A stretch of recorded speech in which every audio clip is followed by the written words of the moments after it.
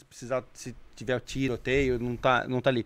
O, a minha pergunta é, por exemplo, assim, como é que é o treinamento da polícia, a constância do, do em São Paulo, que você é, coordena aí o sindicato, por exemplo, assim, tem um tempo, eu, eu como um, uma população comum, um, um simples é, membro da população aqui do estado de São Paulo, é, por exemplo, assim, ah, um delegado tem que fazer um treinamento, sei lá, de de tiro, de treinamento a cada dois meses, eu não sei. É, como é que é, assim? Deveria ter, mas não tem. É, os treinos também, como tudo, são escassos. A estrutura de treino, de munição. A munição é uma raridade para o policial. É, então, falavam antigamente que o cara às vezes tinha até que comprar. Tem que comprar, não, não das antigas. Atualmente, é, para você treinar, você tem que pagar o curso, pagar a munição do seu próprio bolso. Então, não, não existe essa... Ob... Deveria ser é, obrigatoriedade do Estado, é, do governo, Treinar. de preparar suas polícias. Lógico. Mas não existe. Infelizmente não existe. Infelizmente. Então, é, os policiais que são comprometidos, eles compram munição até mesmo para trabalhar. A munição ela é comprada até mesmo para trabalhar. Não existe. É, é. Então, se você tiver uma arma desmuniciada, você vai trabalhar com a arma desmuniciada? Então você vai comprar, você vai comprar, você vai gastar do seu bolso para comprar munição. E é um material de trabalho, né? O, o, o governo tinha que proporcionar munição para o policial e treino, treinos táticos, é, treinos para o policial e não, não proporciona. O policial ele busca o seu aprimoramento, aperfeiçoamento por meios próprios e particulares. Cara, então o que, que me leva a ser um policial? Excelente pergunta. É, pr primeiro é vocação. As pessoas elas têm paixão sim pelo que fazem, são apaixonadas e comprometidas. São os policiais são heróicos é, é, pelo que fazem.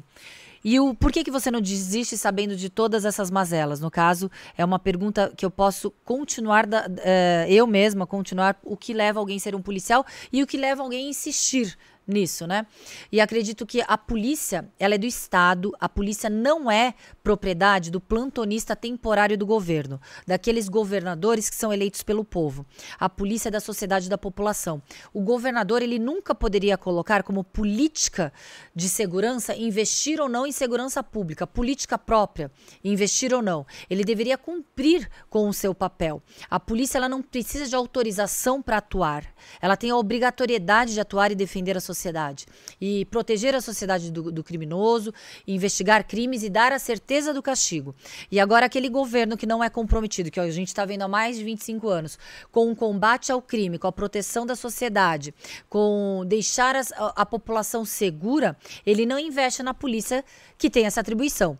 Então a gente vai continuar exigindo, porque não é o favor para o governante plantonista do governo que foi eleito pelo povo, não é nenhum favor investir em polícia, pagar salário, dar munição, dar viatura adequada, dar armamento adequado. É obrigação. Então ele está inadimplente e assim a gente vai ficar reiteradamente cobrando e exigindo com que o, o governo caloteiro, que não paga os policiais em todos os aspectos, não é salário, que não valoriza as suas polícias, que não dá estrutura eh, nem de prédio, nem de, de delegacias para que o policial e a população possa se, se dirigir até lá, a gente vai continuar reiteradamente cobrando esses gestores e exigindo que a população tenha uh, segurança. A gente não aguenta mais uh, a população morrendo por causa de um celular, a população morrendo uh, por causa de um carro, morrendo em confronto e sendo extorquida. E isso é culpa do governo. Por quê? Porque o governo não dá co, políticas públicas para que a efetivação da proteção da população e a certeza do castigo seja concluída. Então a gente vai continuar exigindo. Então não é porque não existe é, investimento por parte do governo que deveria ter que faz com que aqueles que são vocacionados saiam da polícia. Não, a gente vai bater até o governo cumprir a obrigação, porque é obrigação do governo proporcionar saúde, segurança e educação. E o governo não proporciona e a gente vai continuar exigindo. Porque os gestores temporários, eles estão e vão. Nós somos autoridades instituídas pelo Estado e vamos exigir estrutura para poder é, é, exercer as nossas atribuições. O que, que você acha